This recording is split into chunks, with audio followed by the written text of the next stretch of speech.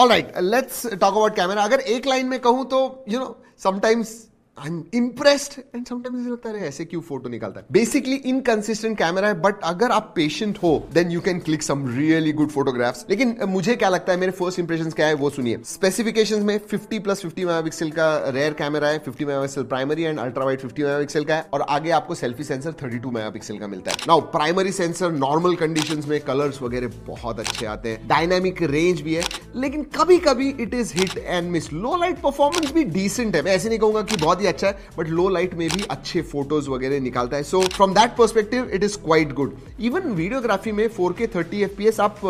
primary sensor and ultra wide से निकाल पाओगे so that is also good और ओ एस का भी सपोर्ट आता है प्राइमरी सेंसर में अगर मैं सेल्फी के बारे में बात करूं तो one zero zero eight P at sixty F P S आप निकाल पाओगे what really impressed me was the selfie camera ये मेगा पिक्सल का है आप स्किन टोन्स वगैरह देखोगे for me that really came out quite good